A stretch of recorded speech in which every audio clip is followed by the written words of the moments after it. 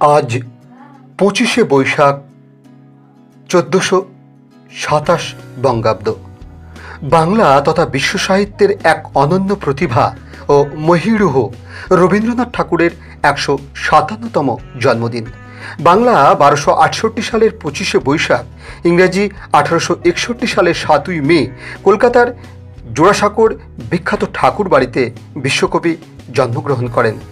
চ্যানেলের পক্ষ থেকে কবির জন্মদিনে রইল আমাদের শ্রদ্ধা ও শুভেচ্ছা। আপনারা দেখছেন খবরের দর্পণ ইউটিউব চ্যানেল। যদি এখনও আমাদের খবরের দর্পণ চ্যানেলটি সাবস্ক্রাইব না করে থাকেন, তাহলে এখনই সাবস্ক্রাইব করুন, সঙ্গে বেল বাটনটি ক্লিক করুন আর পেয়ে যান সব খবরের দ্রুত ভিডিও আপডেট।